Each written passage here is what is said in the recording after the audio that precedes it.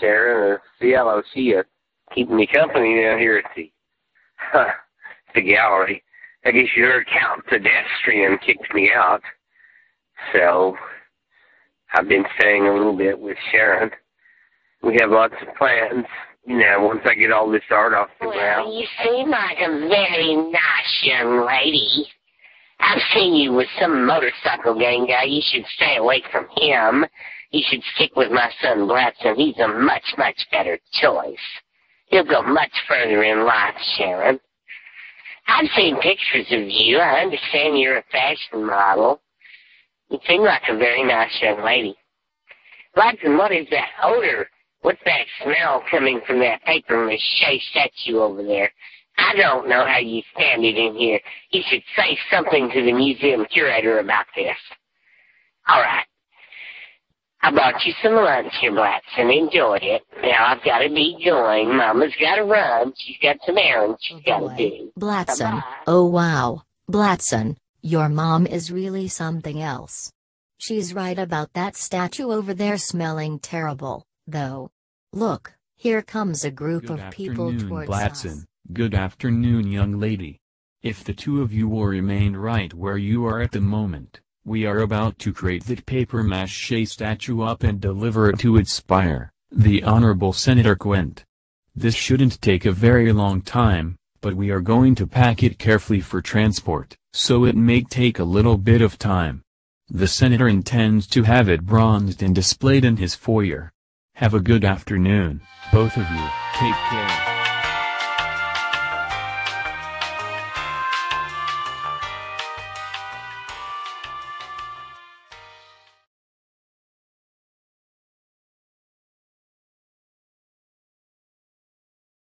CRZY presents a tribute to the late, great Vincent Vincini, founder of Vincini Cosmetics.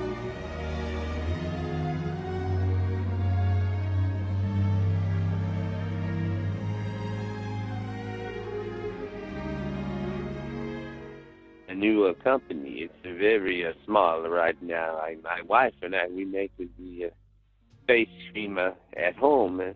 My name is uh, Vincent Vincini, and right now I'm just operating here out of the uh, storefront. But one day I hope to build and grow the company big enough maybe to have a factory, and then perhaps even then we shall expand. But right now, if you would like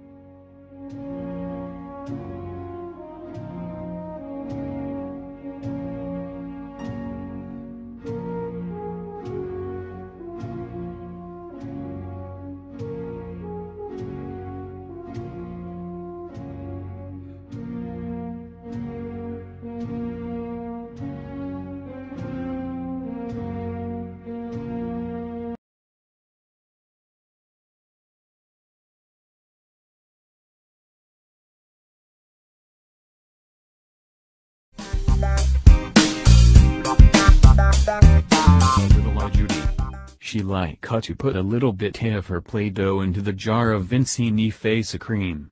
And sometime she like to put a little bit of sand, you know, off into the jar of Vincini face cream uh, you know. She always like to add something to the face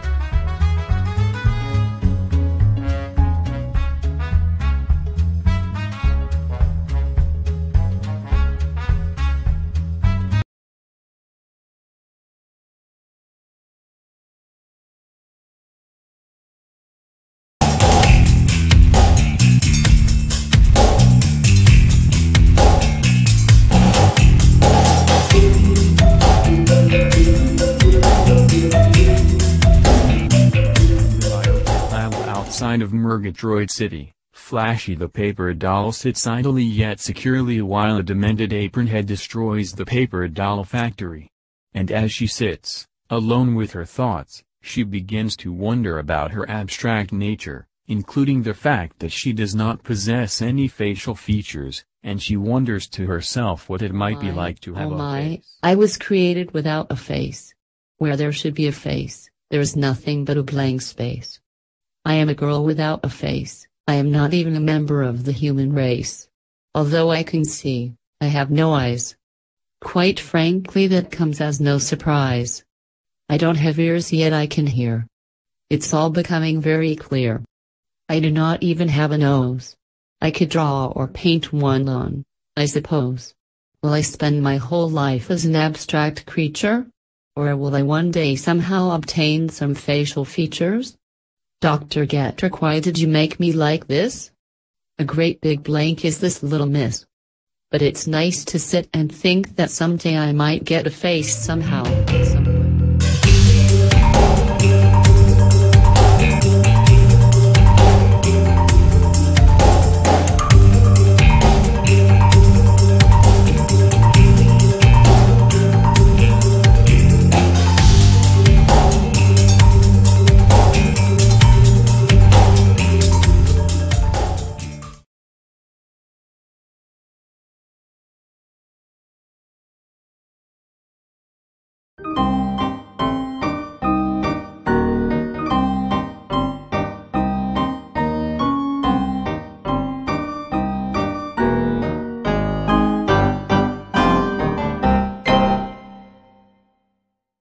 Children, Ophelia Anderson Jr. As you know, your father loves you very, very much, but as a senator, it's it's necessary for me to be away for long periods of time. And your mom, your your mother, my my wife, she the senator's wife must accompany me, plus she has many of her own endeavors which take her away from the home. Therefore, we have hired a nanny for you. She's very, very stern. She's very, very old school, very traditional. You may not like her at first, children, but give the nanny time. Try to cooperate with her and try to get used to her. So I want to introduce you to your new nanny, children. This is Miss Children? Good morning, Miss Himplesheimer. Good morning. Like this. Now, now, sit still. Don't fidget so much. Let's comb our little curls. Uh, Mama, we're a bit this morning, aren't we? Now, now, let's put on our little shoes. Stand up straight now. Be a good little girl. Let's put a big happy smile on our face. The world hates frowners. Be still. Hold still. There's a little hem hanging out of your dress. Let me take care of that. Now, now, don't twist and turn so much. Stand still. I think your mommy let you have too many sweets last night. You're so frosty this morning. Now be a good girl and march right down those stairs to the breakfast. See there, your little brother already has his shoes tied. Mama, now, now, let's hurry. Your breakfast will get cold. Little ladies mustn't tarry and be late. We must always be on time. Gotta learn to hustle little, Missy. Let's go. Mama, now, now.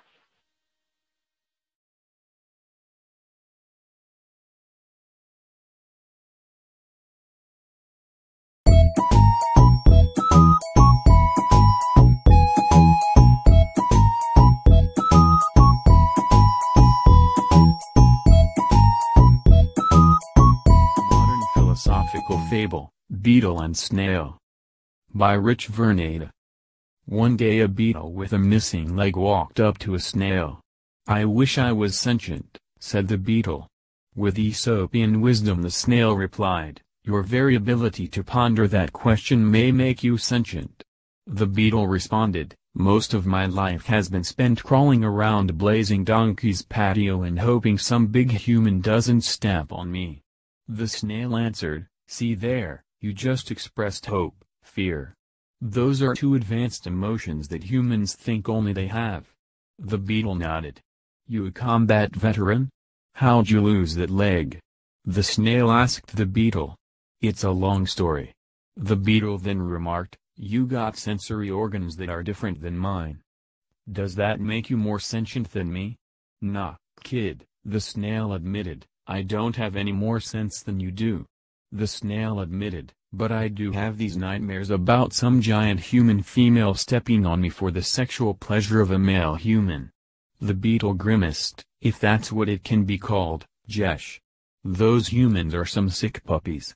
The snail raised his antenna, you got it kid.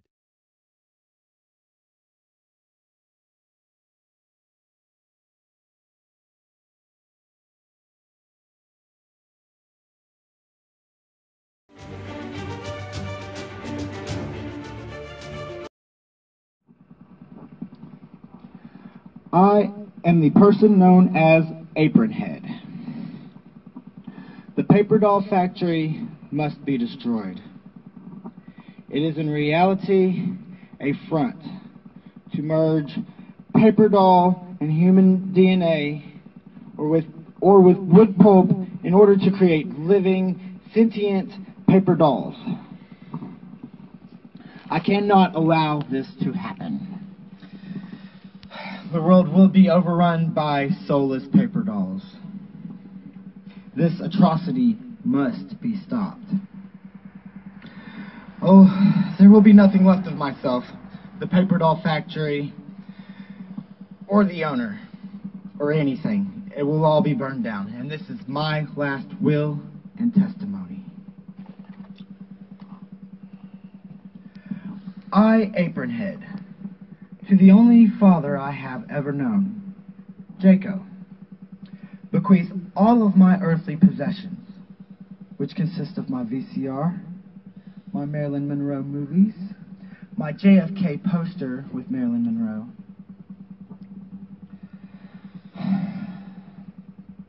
and my drawing of Bangla Boot the clown. To the neighbor and friend, Timmy the skateboarder, I bequeath my jewel-studded apron with the anarchy symbol on it. May he tie it to his head and wear it proudly wherever he goes skateboarding in Dead Center Park.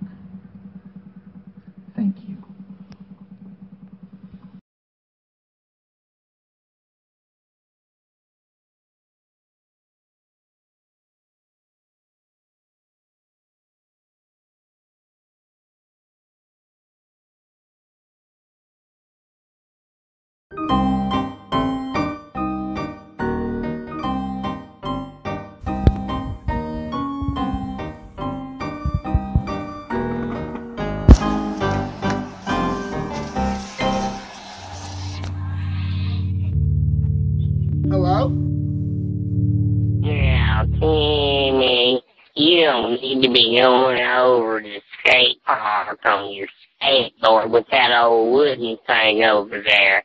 I saw on TV where it pushed two skateboarders down the other day. That wooden thing will get you. You don't need to be over there. Well, you need to stay I out can of the easily outrun it with my skateboard.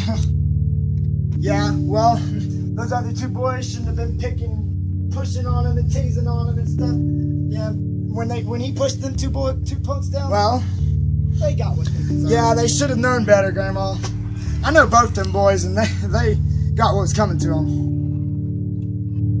And what's this that your mom tells me about y'all going to a bookstore in Flat Town and you found some kind of book and there's a picture in there and you claim it's Flashy the Paper Doll and this wooden thing back in 1689? Timmy, that's not possible. That's not possible. You just don't know what you think you saw. You didn't see that. You're either making that up or you're just having some kind of a fantasy or hallucination. You did not see that, Timmy. Well, Grandma, I'll tell you that I did see it.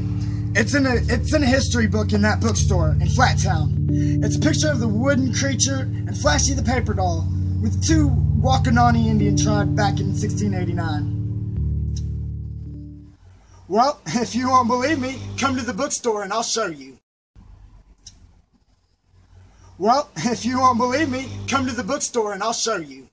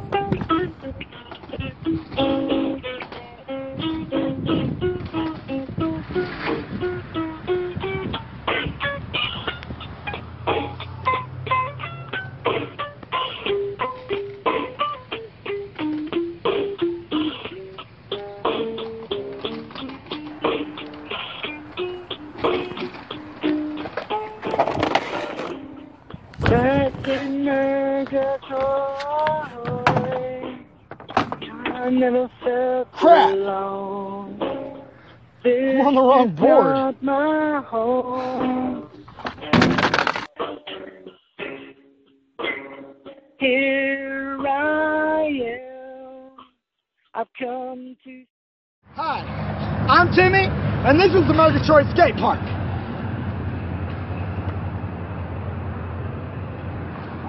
Got a board. Just got that logo.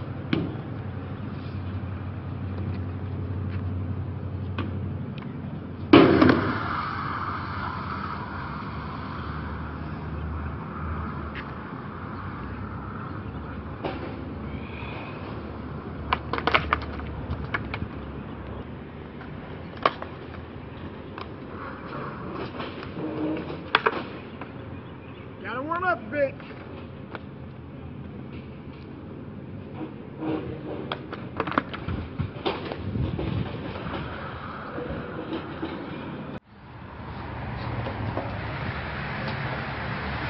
When I'm not skateboarding, I'm on my shred sled. I gotta stay mobile on wheels.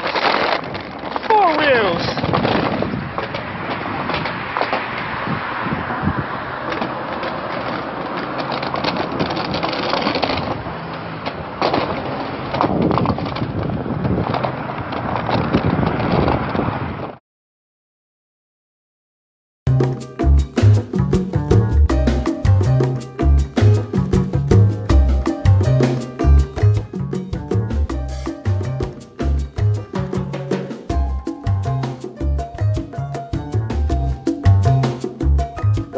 The artist here, announcing and describing my latest wonderful art exhibit, the dictionary, a guide to all that is ditzy. And here are my definitions in I my dictionary art exhibit. Ditsology, the study of ditses. I love my sunglasses. When a ditz dies by her own hand. Dituary, the obituary of a ditz. Ditz makeover, a tube of lipstick from Wally World or the dollar store. A ditsipee, a recipe thrown together by a ditz and masquerading as food. Ditz diet, chips, I love my candy. Xanax. Dixieland, that part of the South inhabited by ditches. Ditz Blitz, the sudden, unexpected, overwhelming arrival of multiple ditzes. Destination, the destination chosen by ditzes for vacation. Ditstar, the ability to spot ditzes. If your dit star is going off, you just spotted a ditz. Ditzography, the life story of a ditz. Not that there'd be much there. So I hope everyone enjoys my new art I love my sunglasses. I love my sunglasses so much. My favorite thing about my sunglasses is they allow me to see things that aren't usually there.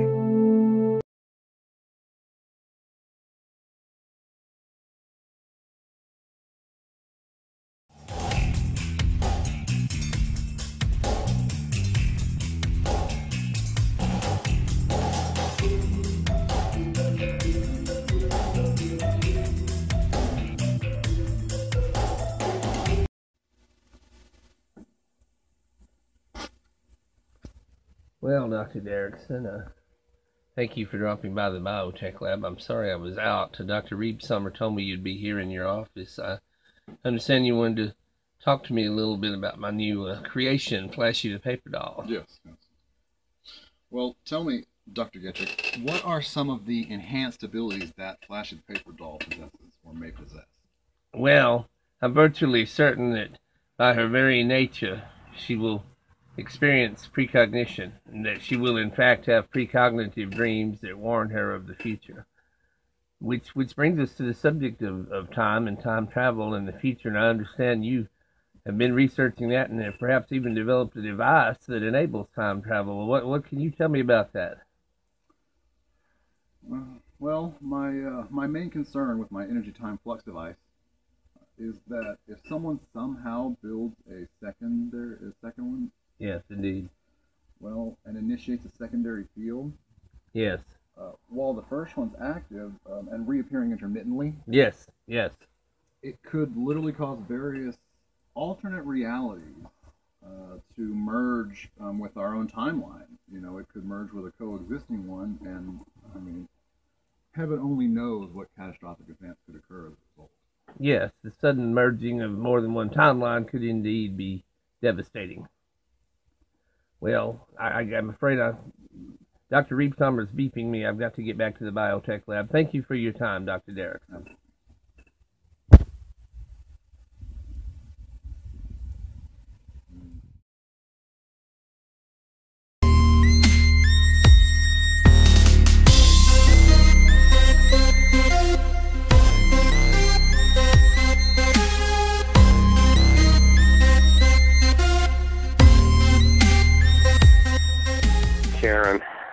Level with you. I can't do anything else for your face. That scoring on your complexion there, it's it's a permanent thing. You can go to a dozen other dermatologists, they'll tell you the same thing.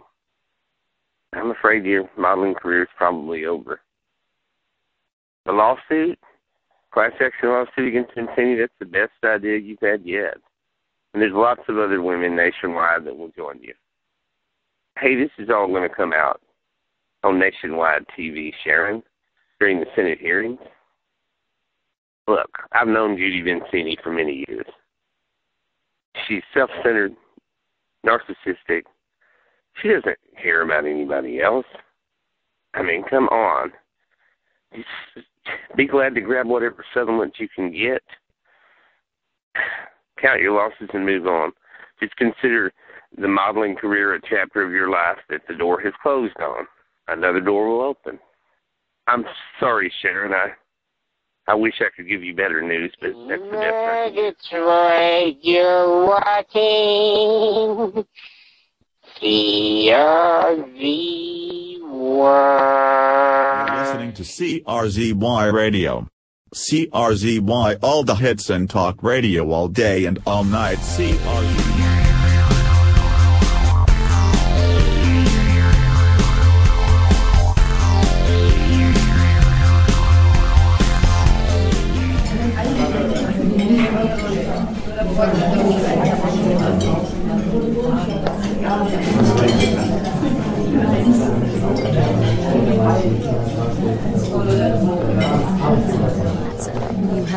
Idea how glad I am you could meet me here at Drifties. I just need someone to talk to.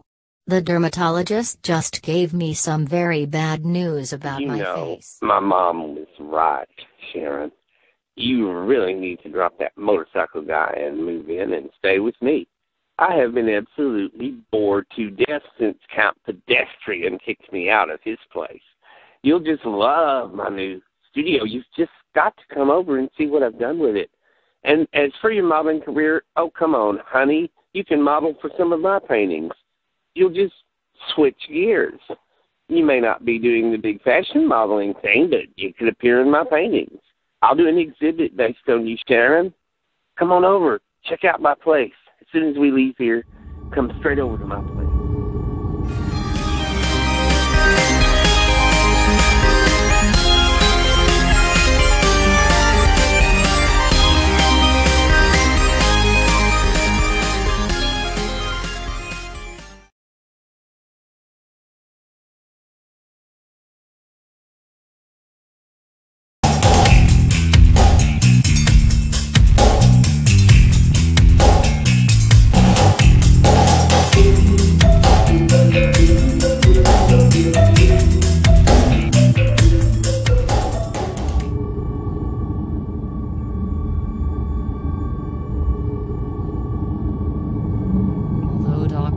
Dr. And Dr. Reeve Summer have a thorough understanding of their two creations, Flashy the Paper Doll and Woody the Wood Pulp Boy, They have enlisted the aid of Dr. Derrickson for an unbiased assessment of the characteristics, abilities and attributes of the two artificial beings.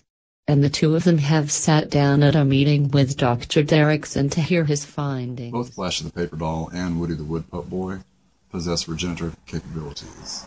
If either of them loses an arm or leg, not only will they grow one back, but the arm or leg which they lost will in fact grow into another full, complete, exact duplicate uh, of the original creature, and this duplicate creature will possess all of the memories and experiences of the original as well. Yes, yes, yes. This is something that Dr. Reeve Summer and I had discussed at length. Thank you, Dr. Derrickson. Detroit, you're watching CRZ World. Local artist Blatson today announced a new exhibit opening next week featuring new works based on the Mergatroid fashion model Sharon CLO. The exhibit will be appearing at the Mergatroid Metropolitan Museum and will run for at least two weeks with the possibility of being extended past the two weeks depending upon public and critical response.